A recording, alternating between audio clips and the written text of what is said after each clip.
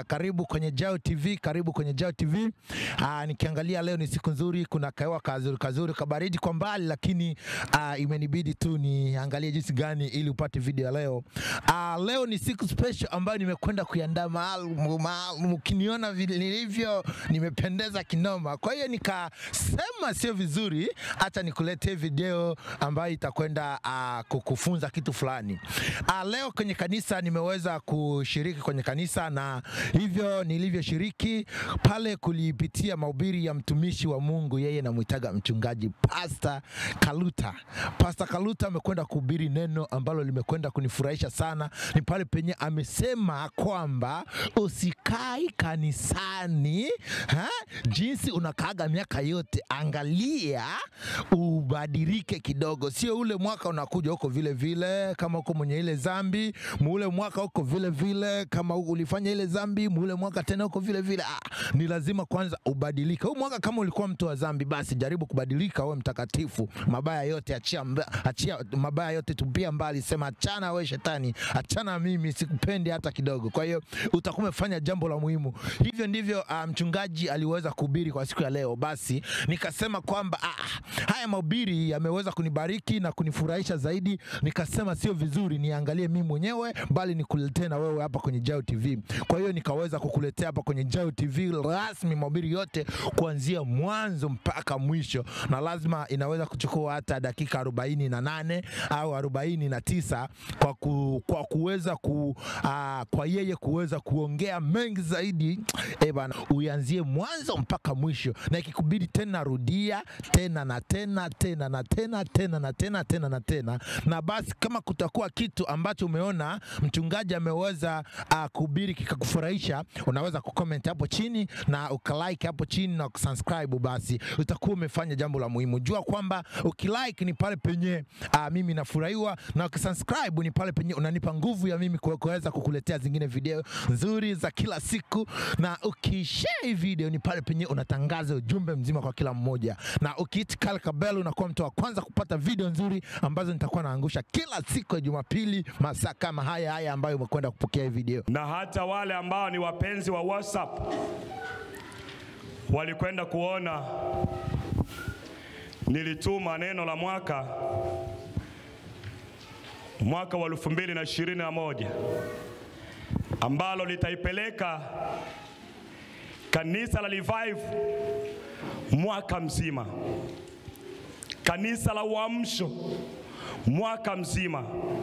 Jina la Bwana libarikiwe.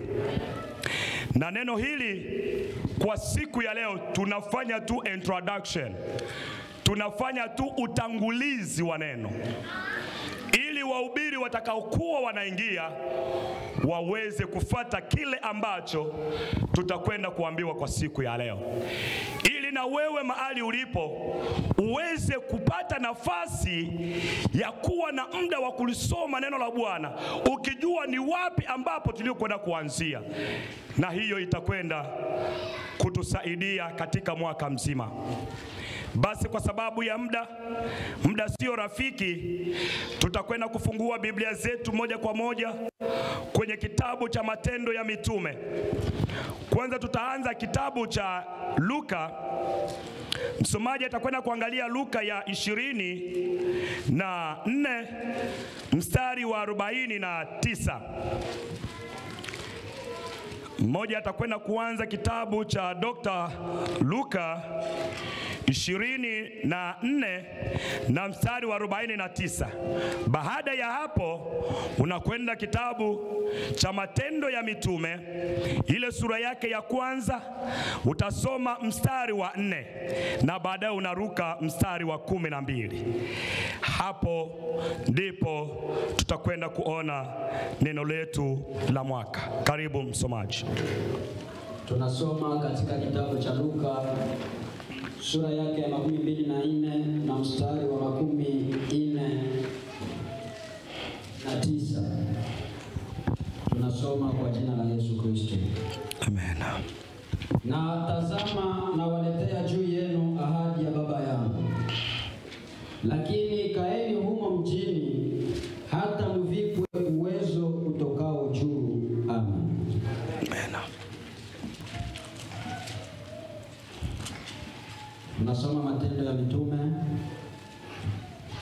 sura yake ya kwanza mstari wa nne unaruka mstari wa kumi na mbili. mstari wa nne tunaruka mstari wa kumi na mbili. Hata alipokuwa amekutana nao, aliwaagiza wasitoke Yerusalemu, mm. bali waingoje ahadi ya Baba ambayo mlisikia habari zake kwangu. kumi na mbili. Kisha wakarudi kwenda Yerusalemu kutoka mlima ulioitwa wa Mizeituni ulio karibu na Yerusalemu, wapata mwendo wa Sabato. Amen. Amen. Jina la Bwana libarikiwe.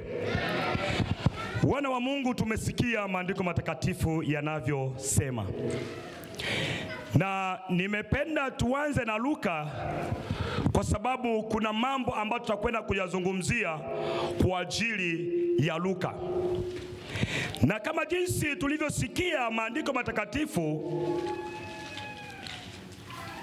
inatuzungumzia habari za ahadi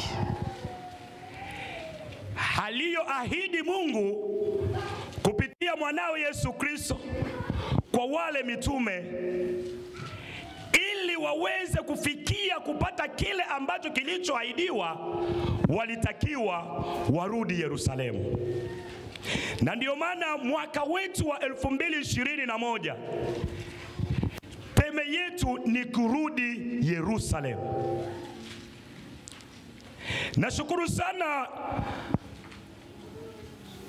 aliyetangulia kwa neno la utangulizi. Kwa wale ambao kufika hawakuwa hapa, alikwenda kutuambia kurudi Yerusalemu, na akajaribu kutafasiri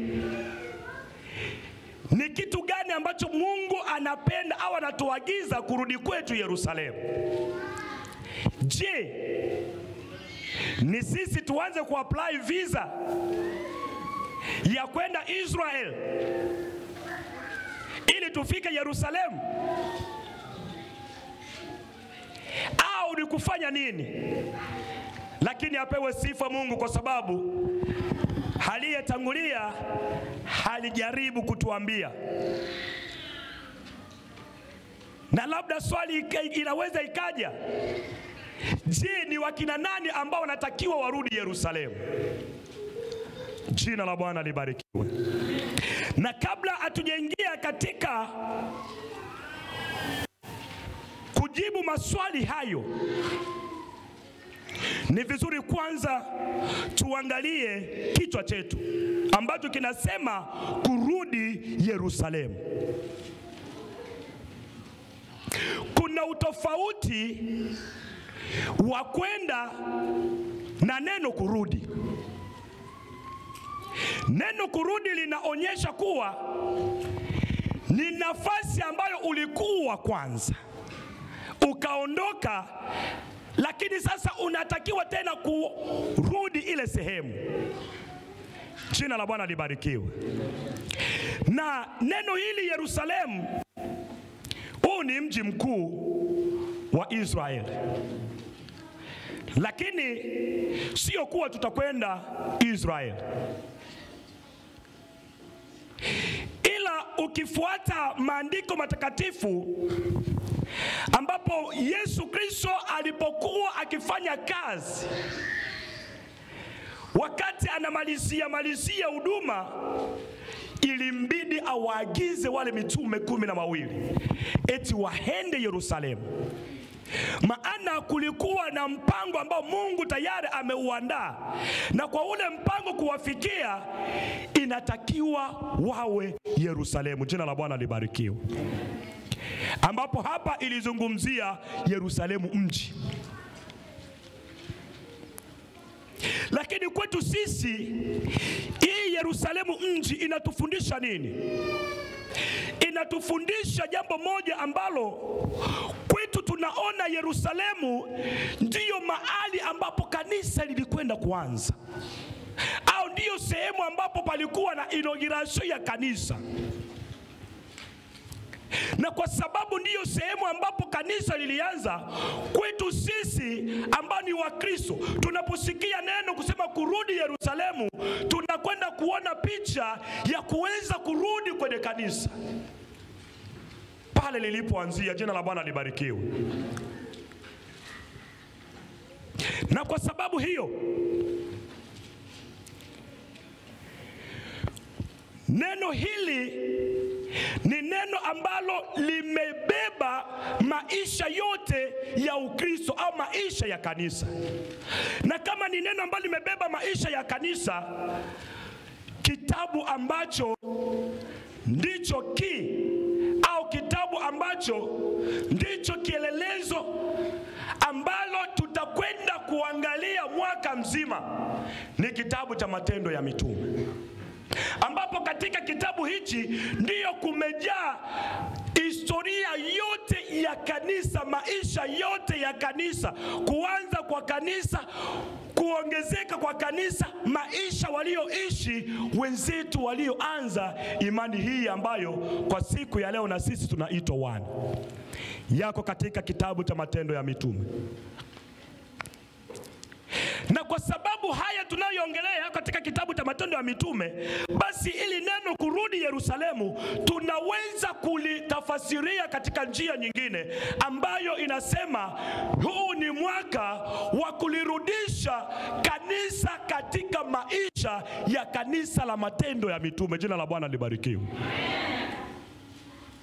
Na ninaposema kanisa, sijazungumzia jengo hili, lakini nazungumzia Wana wa Mungu, teme hii ni teme ambayo imeubeba Ukristo wako, ni teme ambapo imeubeba imeibeba kanisa, ni teme ambayo imebeba maisha yako ya roho, na kwa sababu hiyo kitabu hicho Matendo ya Mitume kama nilivyosema kuwa ndiyo ufunguo au naweza kasema ndiyo kii au naweza kasema ndicho, ndicho kitabu kikubwa ambacho kimeubeba Ukristo wetu, lakini hawezi ukazungumzia kitabu cha Matendo ya Mitume bila kuzungumzia vitabu vinne vya Injili, maana kitabu hichi ndicho kiungamanisho ninaweza nikasema ndiyo daraja ya vitabu vinne vya Injili.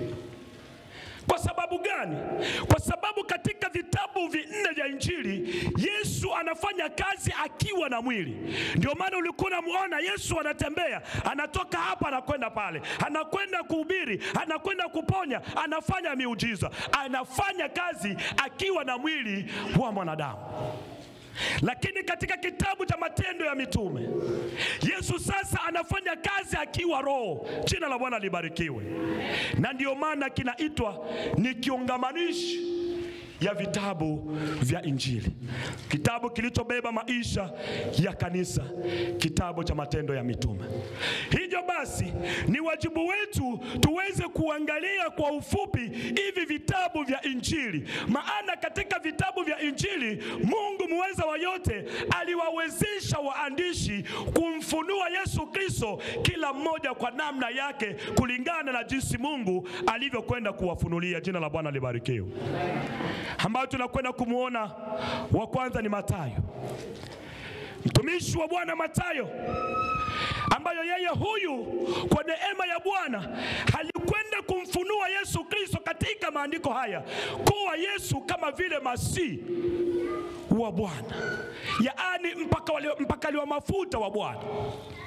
Na huyu Matayo Mungu alimneemisha kumfunulia haya kwa sababu alikuwa na malengo ya kufikisha ujumbe kwa watu fulani ambao walikuwa ni Wayahudi, akionyesha kuwa kile kilichozaliwa Betlehemu, yule ni Masihi.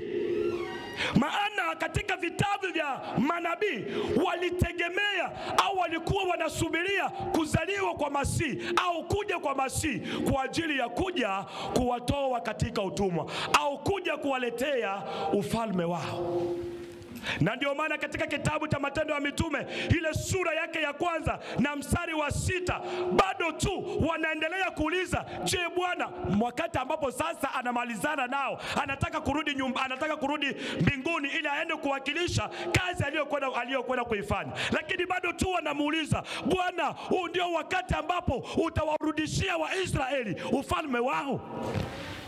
Maana ni jambo ambalo walilitegemea sana ingawaje Yesu alihubiri akafanya miujiza na nini, lakini bado tu anafuata sababu. Bwana, mbona nakawia?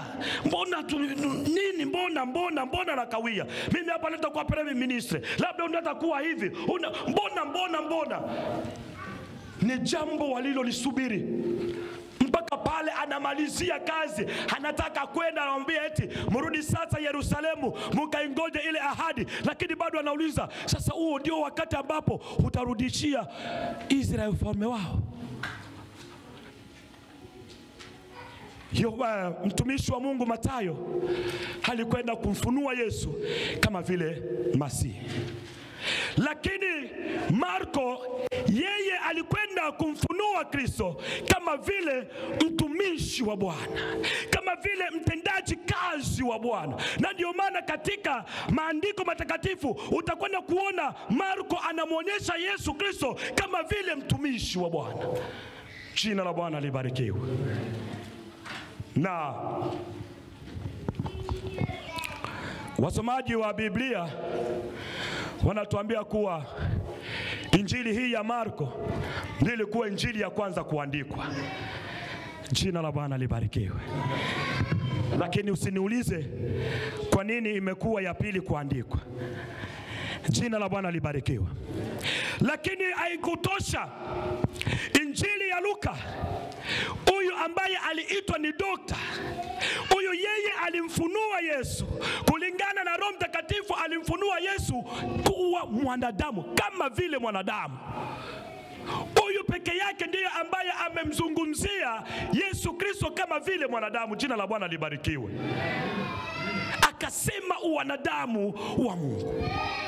Yawezekana kwa sababu yeye alikuwa ni, uh, ni dokta ambaye amejifunza uhalisi wa ubinadamu, na ndio maana labda Mungu akampatia neema ya yeye kuweza kumfunua Kristo kama vile mwanadamu. Jina la Bwana libarikiwe. Anaitwa ni mwana wa Adamu. Injili ya Yohana ambayo yeye huyu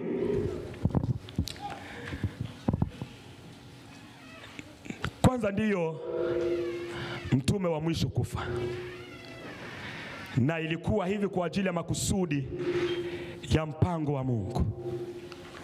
Yeye huyu alimfunua Mungu au alimfunua Kristo kama vile Mungu, yaani ni yeye aliyeufunua uhungu wa Kristo na ndio maana katika maandiko matakatifu kuanza kwake yeye hakuanza na historia ya, ya Yesu Kristo, hakuanza na ukoo wa Yesu Kristo, lakini alianza akisema, hapo mwanzo kulikuwako neno, naye neno alikuwa kwa Mungu, naye neno alikuwa Mungu. Akasema kuwa vyote vilivyofanyika akikufanyika kuliko yeye ni yeye aliyofanya kila kitu. Jina la Bwana libarikiwe.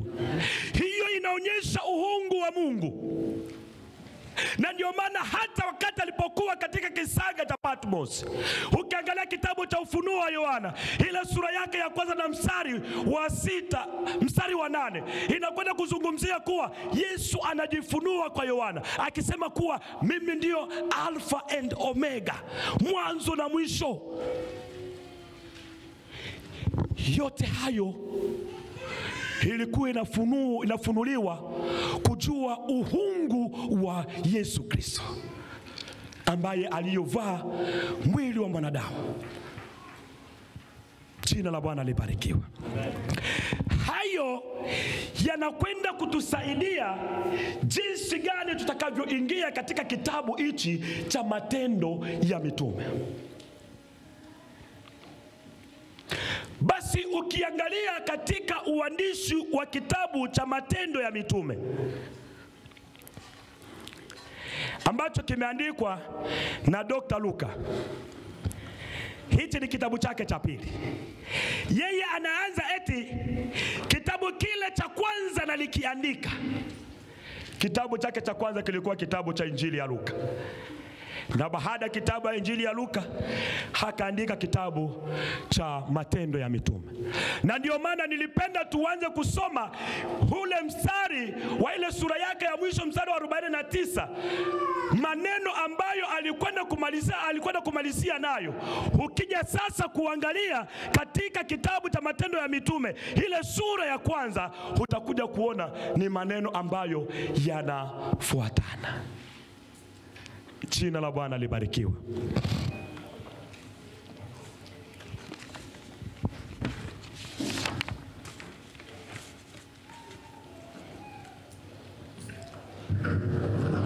Tunaangalia kitabu cha Matendo ya Mitume.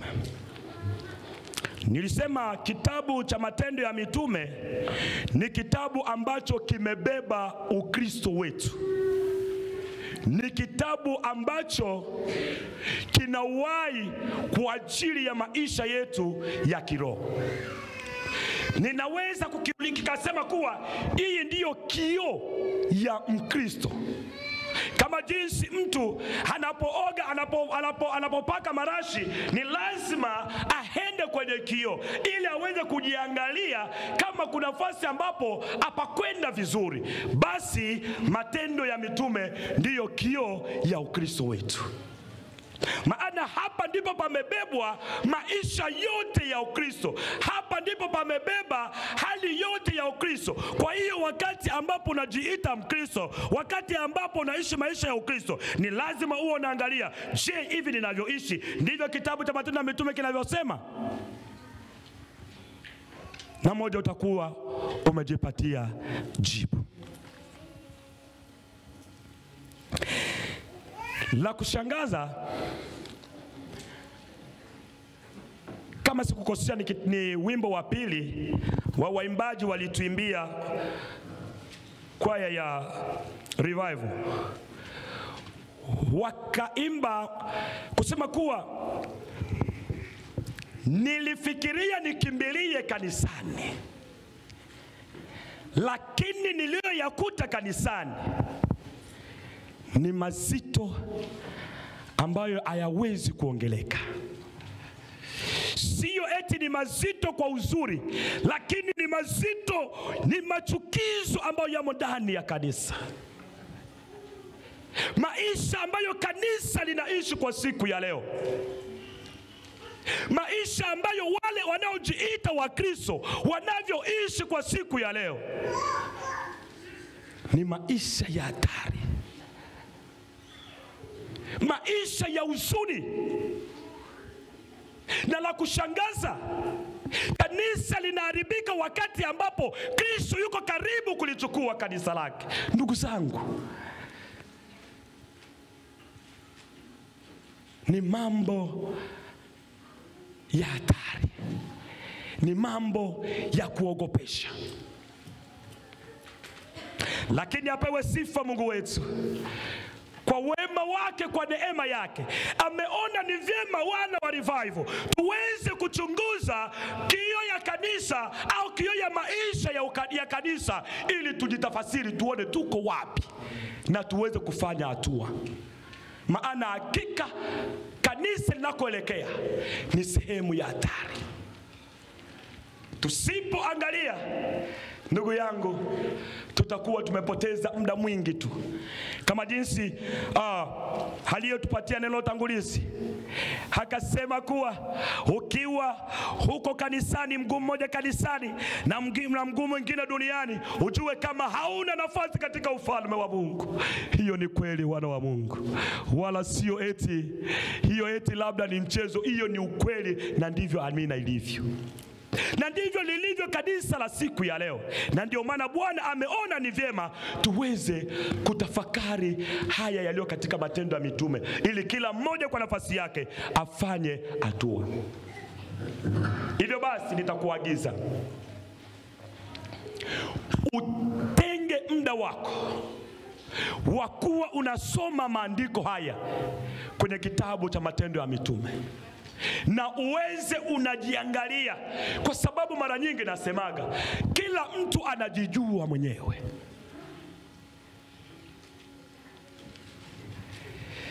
Jina la Bwana libarikiwe.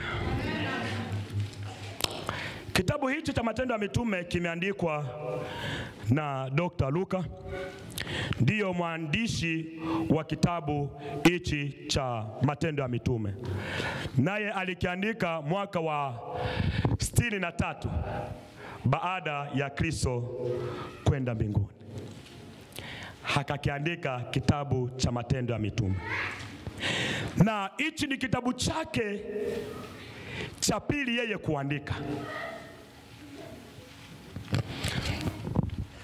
na ukiangalia kitabu hichi cha Matendo ya Mitume ambacho kimeubeba Ukristo wetu kimegawanyika au kina aina tatu za kukigawa, lakini sisi hatutakwenda katika aina zote tatu za kukigawa kitabu cha Matendo ya Mitume, tutakwenda na aina moja tu.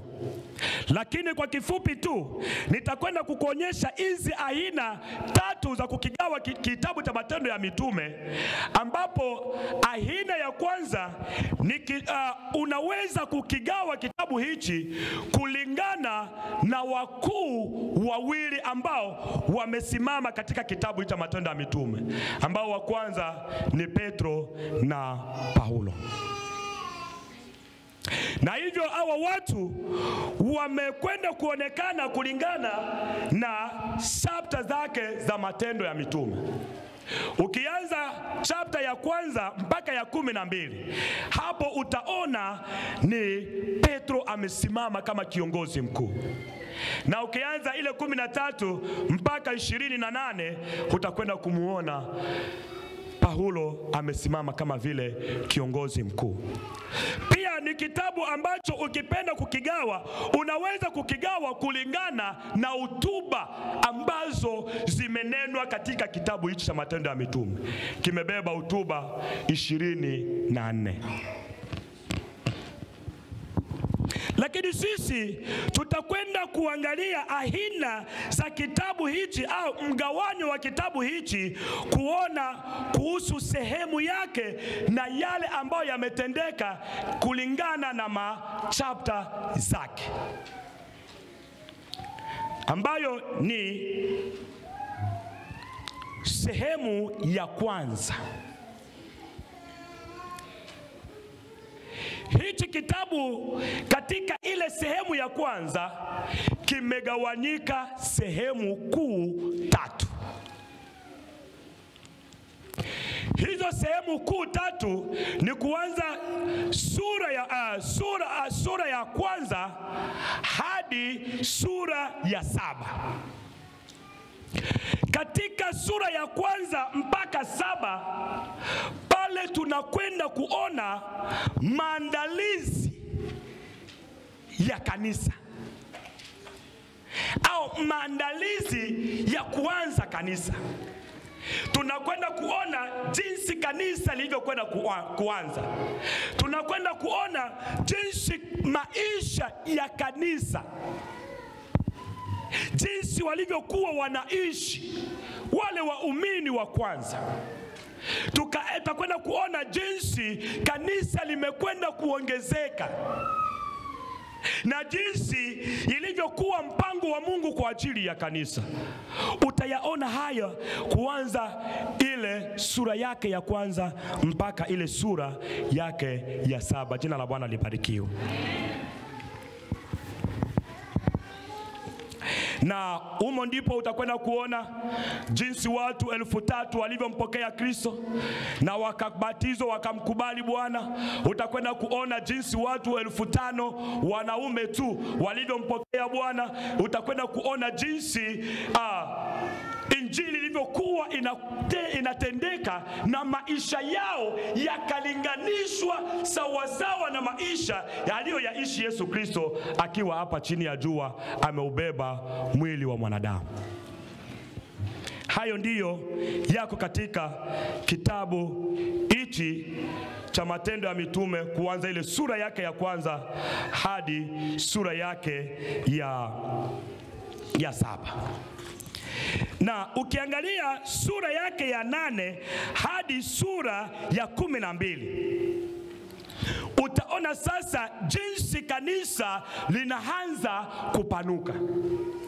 Lililokuwa Yerusalemu linaanza kwenda Yudea na Samaria yote, kanisa linaanza kupanuka na utaona nguvu ya kanisa lilivyokuwa lilivyokuwa linapanuka kwa ajili ya matendo yao ya maisha waliokuwa ya, wanayaishi. Wale ambao walikuwa wamjui Kristo walipoona jinsi wanavyoishi, wakasema hakika hawa ni Wakristo.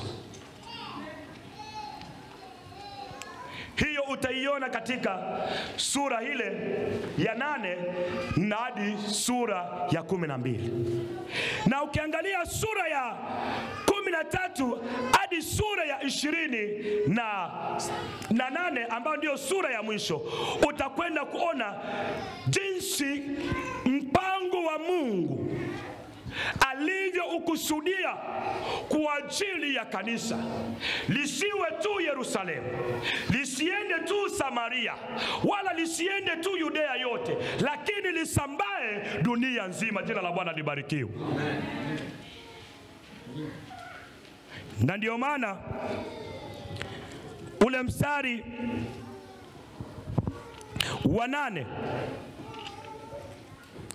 kwenye ile sura ya kwanza amesema kuwa lakini mtapokea nguvu akiisha kuajilia juu yenu Roho Mtakatifu, naye eh, Roho Mtakatifu, nanyi mtakuwa mashahidi wangu katika Yerusalemu na katika Uyahudi wote na Samaria na hata mwisho wa nchi. Jina la Bwana libarikiwe. Na ndiyo kivesi ya kitabu cha Matendo